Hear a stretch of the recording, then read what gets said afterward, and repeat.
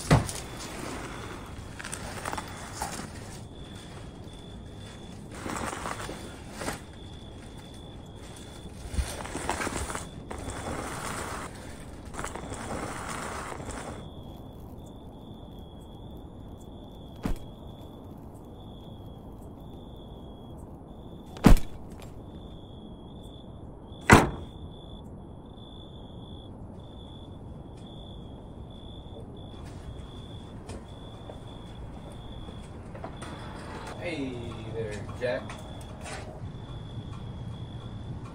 Hey, Travis. Any more luck with Jenny? No, not yet, but I'm pretty close. Can I come in? Um, sure. Yeah, you can come in.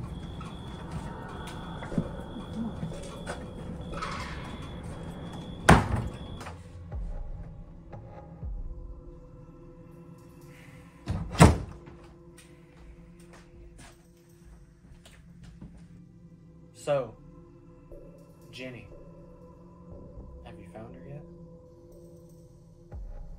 No, not yet.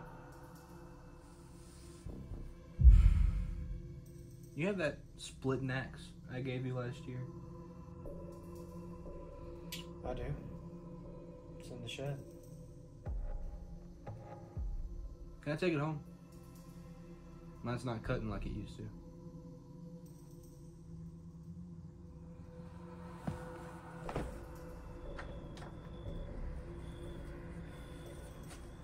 It's behind the plastic to the left.